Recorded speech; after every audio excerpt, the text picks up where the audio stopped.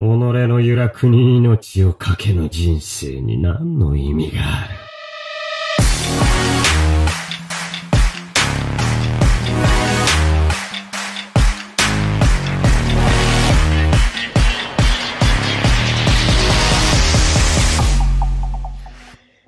And the news is out. The new banner for mid-month is gonna be Ichigo, Aizen, and Kenpachi with this OG style. and as you can see, this is very reminiscent to the very early days of the game. It reminds us of one of the first banners when you had this exact Aizen, which was the Dodge Aizen, who was amazing in PvP, he was amazing overall. This Ichigo, which is the all-rounder as he used to be in the premium banner. And this guy has been leaked a little while ago, about two weeks ago, during Christmas time when his, um, well, when his voice lines were uh, data mined and I've made a video about this. This is the Ichigo from the battle uh, next to the Sogyoku before Aizen goes to Hueco which is why you see the Hueco behind him. And then you have the Kenpachi, didn't really see that one coming. I expected maybe Byakuya in that one. But what? Why not? Why not? So this is not a fake. This is a legit banner. Noe is known for having actual um, data mining of the information, having the raw information. This is 24 hours, a bit less actually before the reset where we are going to have the information in game. So no fake, this is an actual leak, this is actually true. And the mo well, what's more important here is not just the banner, it's this information at the bottom. Step 5 of 710 is guaranteed to be a 5 star. And if we just go a little bit back and we go to the um, to the banner with Noitra, you know, the Can't Fear Your Own World 2 banner. That one also has the same uh, concept, so it's also step 5 guaranteed. So what this shows is, this is the second, there we go, that's the one. Same thing, same concept, step 5 uh, is guaranteed to have 5 stars, step 10 as well. They haven't mentioned anything about step 10 in this one, but what this means is it is official. KLab is finally adopting the pity system. It's been four and a half years. We finally have a pity system in the game in the form of step ups. So now all banners, including mid-month banners, are going to be a double chance. They're going to be in the form of step ups, and step five is going to be a guaranteed five star as well.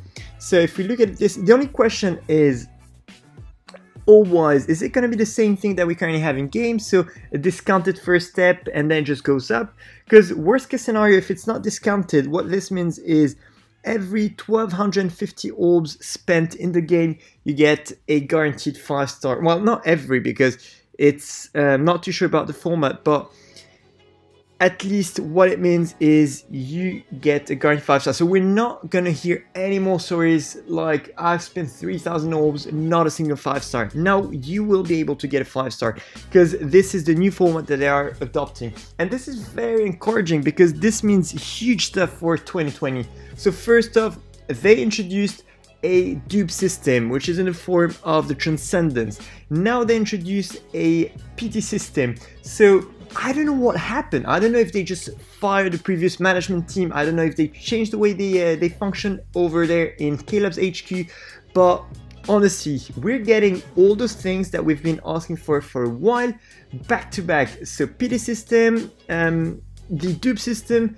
Well, I'm not I'm not uh, commenting about the form in which we're getting this, so transcendence and those kind of step ups, but at the very least, this is finally uh, a pity system. Every single game out there has some sort of a pity system, and finally, um, well, Bleach Soul is getting one. So this is the most important news. Now back to the banner. What I uh, this style is so nostalgic. When you look at this, it's so nostalgic. It reminds me of you know the OG days, um, the OG banners, and it also reminds me of this banner that came out of nowhere, which is the um, Lamentation banner, where we had the one arm Yamamoto, the Mayuri, 20DR Mayuri, and Kaname as well, Lamentation Kaname, which was an amazing banner and it looks really much like it. So the way the way I look at it is this banner is actually surprisingly good for mid-month. That is incredibly uh, unexpected for mid-month because last year, same exact time,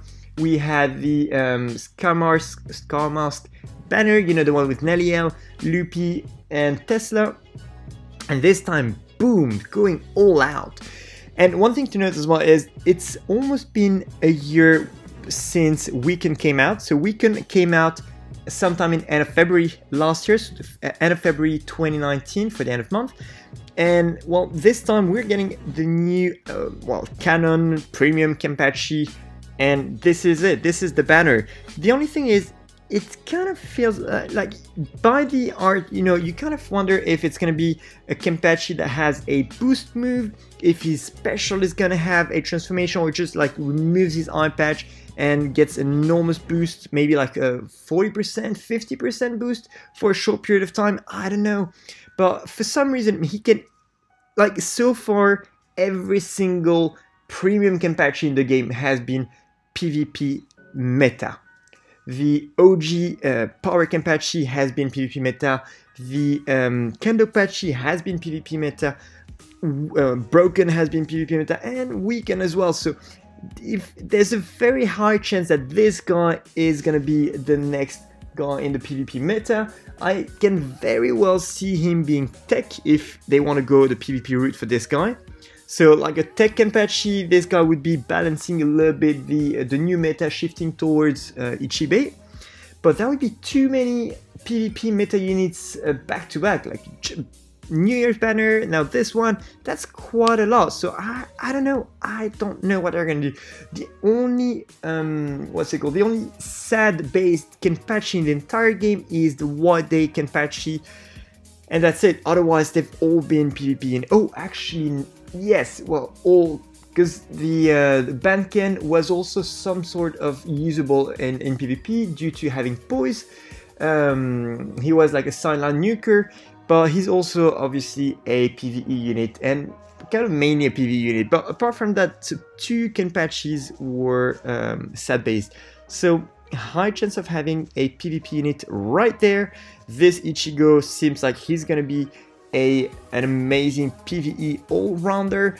Um, he really excited by the lines. So his Bankai, he literally says Bankai, Tensa, Zangetsu.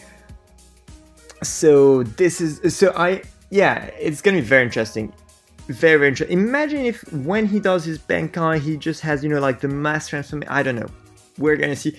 And that Aizen, that Aizen, I can very well see a special with the, um, you know, like the Hueco Mundo Eye kind of stuff, like opening, I forget the name, like, you know, opening in the background is like, you know, uh, the Negation light or something like it, like, goodbye fellas, I'm out of here. I don't know, but this is, this is not a mid-month banner. KLab, this is an end of month banner. This is the hype of an end of month banner. Where the hell did someone in your HQ say, you know guys, let's just throw it for a mid month. So that makes you wonder what the hell's gonna be for end of month. Well, it's gonna be um, it's gonna be uh, Valentine's Day uh, characters, so that's not a hype banner. So why would you do it this way? So what I think is, if you've seen my previous video um, yesterday about the uh, the release schedule from KLab, what I think is we're getting this hot banner now. We're getting the, um, the Cacao Society banner at the end of the month. Mid-month, we're gonna get some random banner, and end of month, or mid-month actually, we're gonna get boom, Can't Fear Your Own World. That's it. Beginning 2090, very strong. So yeah, guys, let me know in the comments below what you think. This is really, really exciting. This is not a fake, and I'll see you in the next video. Cheers! Salut les amis Alors, grosse, grosse, grosse, grosse nouvelle. Euh, déjà, au moment où vous verrez la vidéo, moi j'étais euh, en train de faire du shopping, donc j'étais pas à la maison, j'ai pas pu euh, publier à, ce sujet.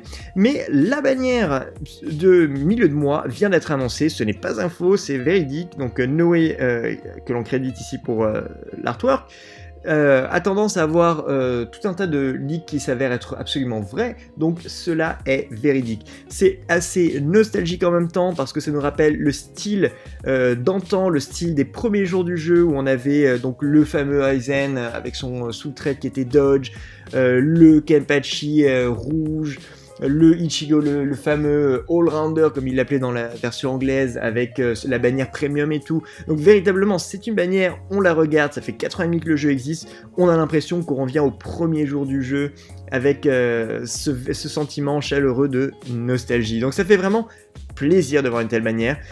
en fait, le design de la manière des personnages, on a, on a l'impression, on se dit, mais est-ce que c'est un faux? Parce que on a tellement avancé avec les designs de bannières qu'on voit ça, on se dit, euh, non, c'est pas possible, c'est pas possible. Eh ben si, eh ben si. Et alors, la news qui est encore plus importante, qui qu'il faut, qu'il faut véritablement mentionner, c'est pas tant la bannière. La bannière est absolument incroyable, mais au-delà de ça, c'est le format. La cinquième, le cinquième palier des, des multis nous garantit un 5 étoiles, et c'est pas la première fois. Bon, jusqu'à maintenant, euh, sur les anniversaires 2, 3, 4, on avait eu ça euh, sur la sixième étape au niveau des step-up, mais là, mais là, ce n'est pas le cas. On a ça sur la cinquième étape et c'est la deuxième fois en 2020. On avait, on a bah, la bannière actuelle, Conferion World 2, donc les, personnages du Roban, la deuxième, la numéro 2. Paf, même système, la cinquième étape garantit un 5 étoiles. Bon, il y a aussi la dixième, mais la cinquième étape garantit un 5 étoiles. Du coup, ça montre bien une, euh, consistance au niveau du, traitement, une consistance au niveau du fonctionnement.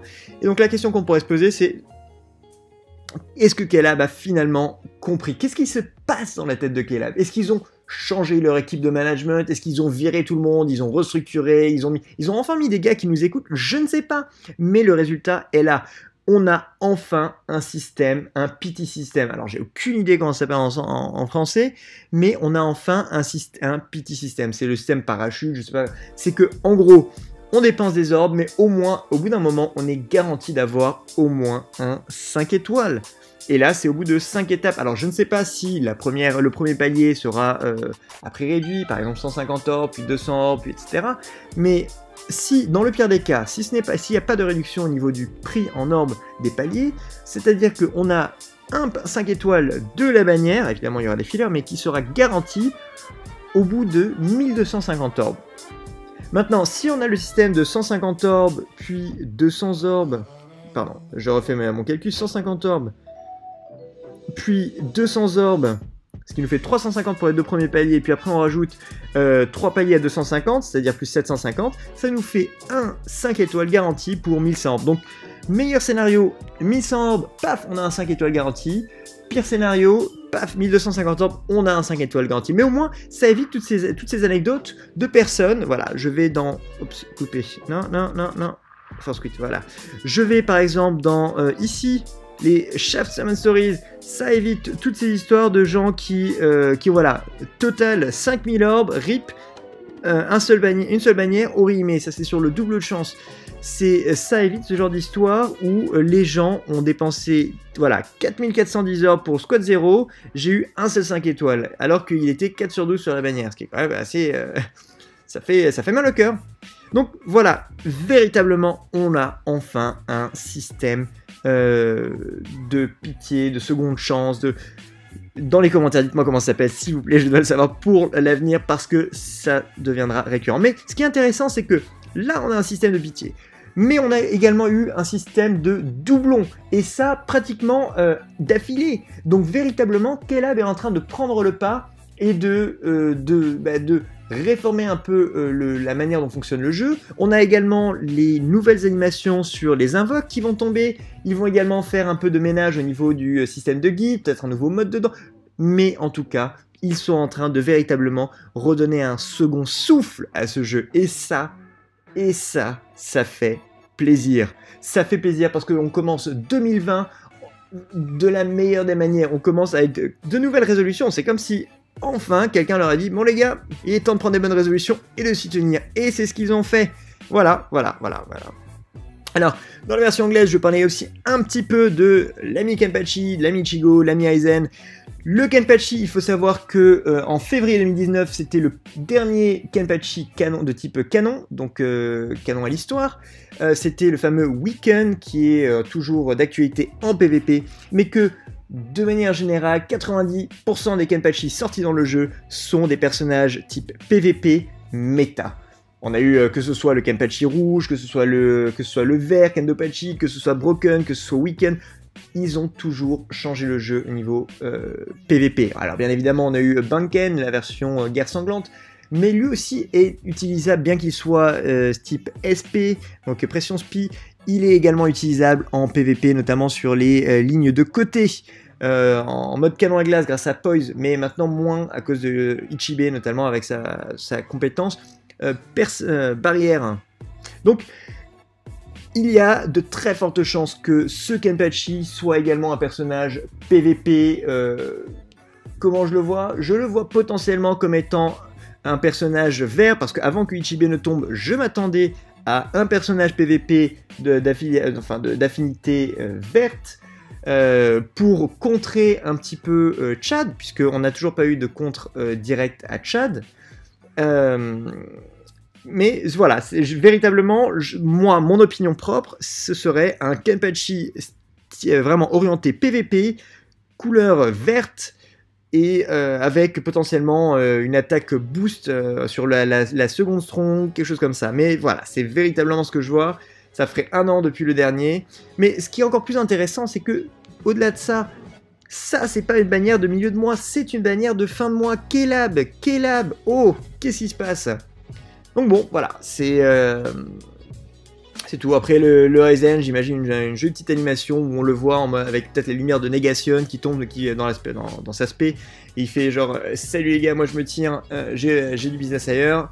Et le Ichigo, qui est le fameux Ichigo de la bataille contre Byakuya euh, sur la colline du, sur la colline dans la Soul Society. Petit trou de mémoire sur le nom. sur la colline du Sogyoku peut-être, je ne sais plus. Voilà. Bref.